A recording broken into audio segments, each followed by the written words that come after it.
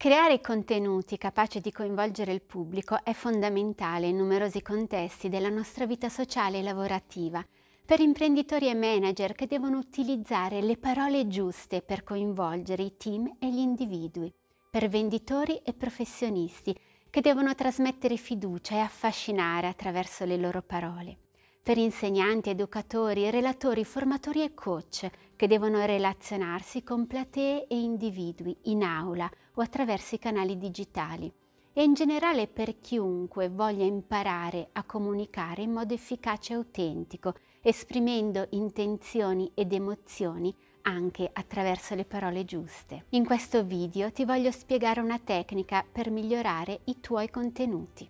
Io sono Francesca Magistroni, attrice, musicista e professional coach e da oltre dieci anni mi occupo di formazione, aiuto le persone, i professionisti a diventare più efficaci nella comunicazione, ad avere più sicurezza e fiducia per raggiungere i risultati che più a loro stanno a cuore. La comunicazione è parte integrante della nostra vita e del nostro successo nelle relazioni della vita privata e nel lavoro e imparare a creare un contenuto di valore genera una comunicazione efficace e per questo circolare.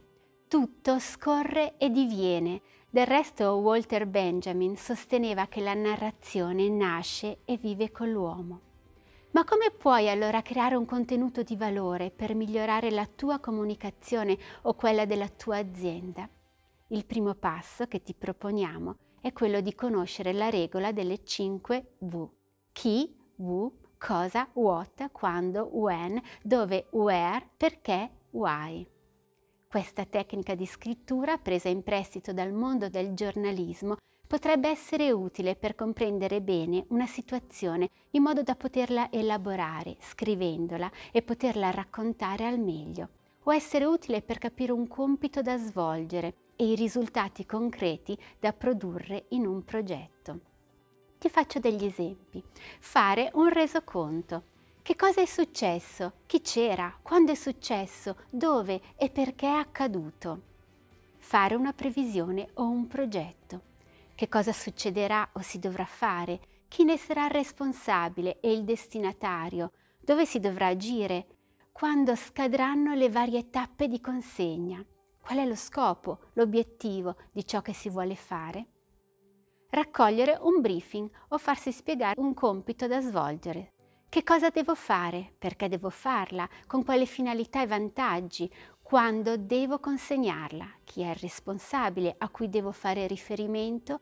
Dove consegnare o spedire o agire? Cambiare lavoro. Che cosa voglio fare di nuovo, di diverso? E perché voglio cambiare? Dove voglio lavorare? Avvicinarmi o anche andare lontano? A chi posso rivolgermi, chi può aiutarmi quando voglio cambiare, entro quanto tempo. Come hai visto, avere una struttura chiara in mente ci aiuta ad individuare l'obiettivo e a costruire dei progetti emozionanti.